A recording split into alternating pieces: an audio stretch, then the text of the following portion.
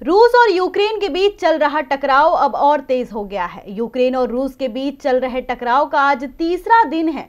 रूसी सेना यूक्रेन की राजधानी कवि को घेर चुकी है तो वहीं प्रशासन ने लोगों से सुरक्षित जगहों पर छिपने का निर्देश दिया है। अब तक 200 के करीब लोगों की जान जा चुकी है।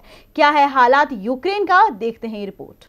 यूक्रेन के हालात बेहद नाजुक हो चुके हैं, लेकिन रूस फ़िलहाल यूक्रेन पर रहम करने को तैयार नहीं है। रूस यूक्रेन के बीच चल रहे टकराव का आज तीसरा दिन है और रूसी जवान यूक्रेन की राजधानी क्यूब में दाखिल हो चुके हैं। क्यूब प्रशासन ने अपने नागरिकों को चेतावनी दी है कि वो अपने घरों से ना निकलें। यूक्रेन ने यह दावा किया है कि उसने रूसी सैनिकों को ला रहे एक विमान को मार गिराया है। संयुक्त राष्ट्र सुरक्षा परिषद में शुक्रवार को यूक्रेन संकट पर रूस की निंदा करने का प्रस्ताव पेश हुआ।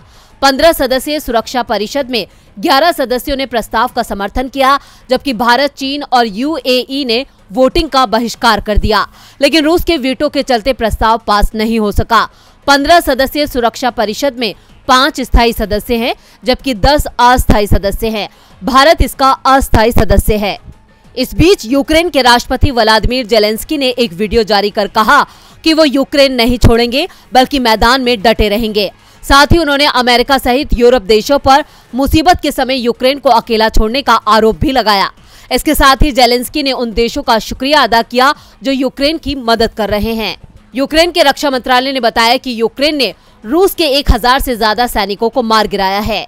वहीं ब्रिटेन ने मरने वालों को लेकर एक अलग आंकड़ा जारी किया है। उनके मुताबिक तीन दिनों में 450 रूसी सैनिक की जान गई है। यूक्रेन के एक सौ चौरानवे लोगों की मौत हुई है, जिसमें सत्तावन नागरिक शामिल हैं। संयुक्त राष्ट्र ने कहा है कि यूक्रेन में कम से कम 25 नागरिक रूस का निशाना बने हैं और 102 घायल हुए हैं। रूसी रक्षा मंत्रालय ने दावा किया है कि उसके सैनिकों ने 211 यूक्रेनी सैन्य ठिकानों को नष्ट कर दिया है। यूक्रेन की माने तो उसने रूस के 80 टैंक 516 बख्तरबंद गाड़ियाँ सात हेलीकॉप्टर 10 एयरक्राफ्ट और 20 क्रूज मिसाइलों को नष्ट कर दिया है। डीबी लाइव की रिपोर्ट।